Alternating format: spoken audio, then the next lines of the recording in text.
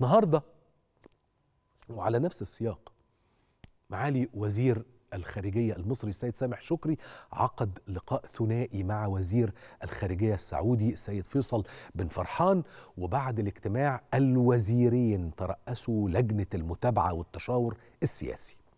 وزارة خارجيتنا الخارجية المصرية اتكلمت عن المشاورات المكثفة على جدول أعمال الوفدين مصر والسعودية.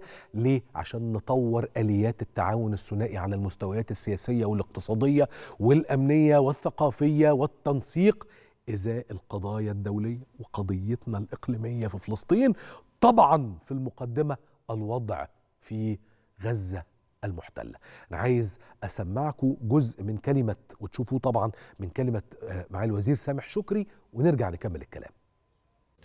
لقد ناقشنا اليوم عددا من الموضوعات ذات الأولوية الملحة على رأسها مستجدات الوضع في قطاع غزة والقضية الفلسطينية. كما سبق لنا التأكيد مرارا سواء منفردين أو من خلال الجامعة العربية والقمة العربية الإسلامية الأخيرة فإننا نكرر المطالبة بالوقف الفوري والشامل لإطلاق النار في غزة.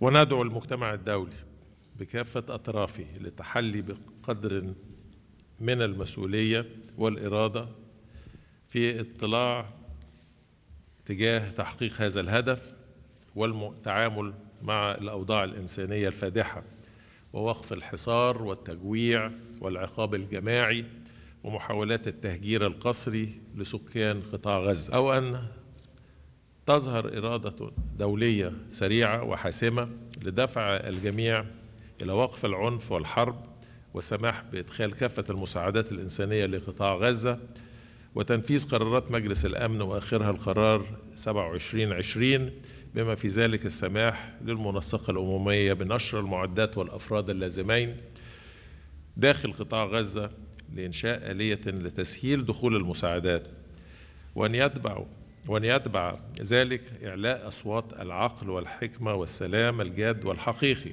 الذي يقود إلى حل الدولتين ويضع المنطقة حينها على مسار السلام والتعاون الحقيقي لما فيه مصلحة شعوبها. طيب دي كانت كلمة وزير خارجيتنا معالي الوزير سامح شكري.